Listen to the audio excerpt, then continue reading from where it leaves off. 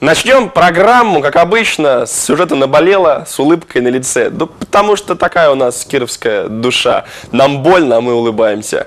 Уже седьмой месяц улыбаемся. В пуховиках и в шапке. Но не об этом. Рубрика «Наболело». Выбирая между красивой обувью и резиновыми сапогами, жильцы дома номер один переулка Лугового выбирают резиновые сапоги. А причина всему – вот такая красивая дорога.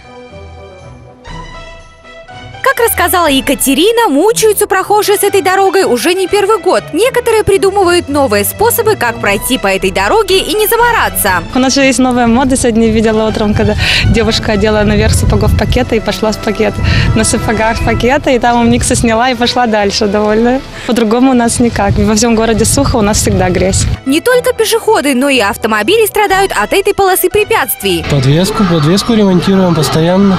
От всех водителей прошу сделать эту дорогу. В конце концов уже просим больше года, ждем, когда нам отремонтируют. Потому что очень жалко и машины, и пешеходов, которые ходят здесь. По словам девушки, все жильцы надеялись, что проблем с этой дорогой у них не возникнет. Нам обещали, что два, года, два раза в год будут нам выравнивать дорогу. Я только один раз видела бульдозер за два года, за полтора. то есть обманывают. Да. А кто обещал?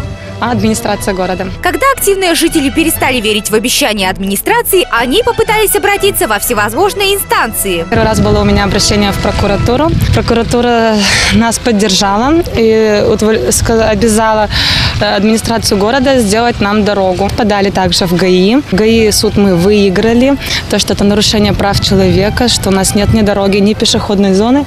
Оно, конечно же, у администрации денег нет, дороги не ждите. Они так сказали. Да. Как оказалось, плохая дорога – это не единственная проблема. Также отсутствует полностью освещение. Полностью.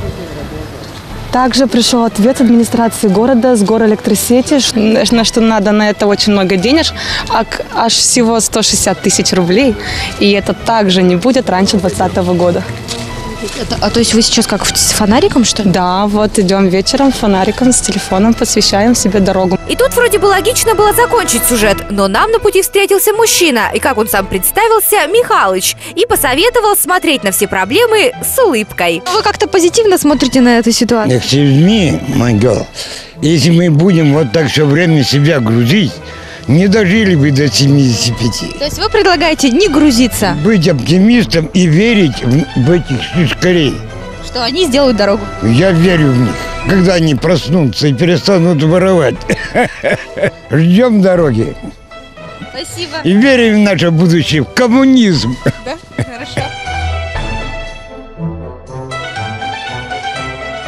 Надеемся, что у администрации города найдутся деньги на то, чтобы хотя бы выровнять дорогу, ну и поставить уличное освещение. Оксана Стяжкина специально для программы «Вятка Тудей».